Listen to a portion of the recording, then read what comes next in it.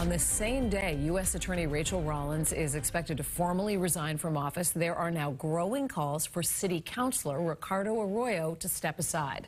Thanks for being with us tonight. I'm Lisa Hughes in for Paula. And I'm Chris Tanaka. Arroyo is standing firm, however. WBZ's Beth Germano did track him down. He said he isn't going anywhere. Did you know that she was leaking No, non-public No, I did information? not. No, I did not. He's under intense pressure. Boston City Councilor Ricardo Arroyo facing calls to resign following reports he exchanged hundreds of text messages with U.S. Attorney Rachael Rollins in the midst of his campaign for Suffolk District Attorney last year against Kevin Hayden. It's very clear by what's in the report and frankly what's not in the report that I did not ask her to do this, nor did I know she was doing these things. Rollins is accused in the reports of trying to sabotage Hayden's campaign by leaking information to news outlets that he could face a federal investigation in a police misconduct case.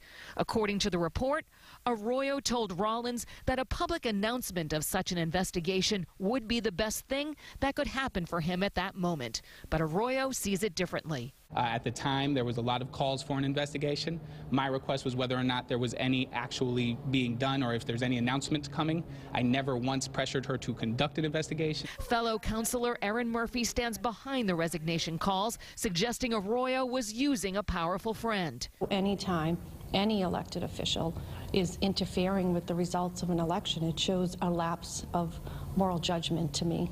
while others call it a breach of ethics. He worked with the U.S. Attorney to use the U.S. Attorney's office to hurt his political opponent to benefit his campaign. this was someone who was plotting uh, to participate in um, the defeat of a, another candidate illegally. There's no question about it. City Council President Ed Flynn calls the allegation serious, but stops short of a resignation call. I'm not calling for any type of sanction against him.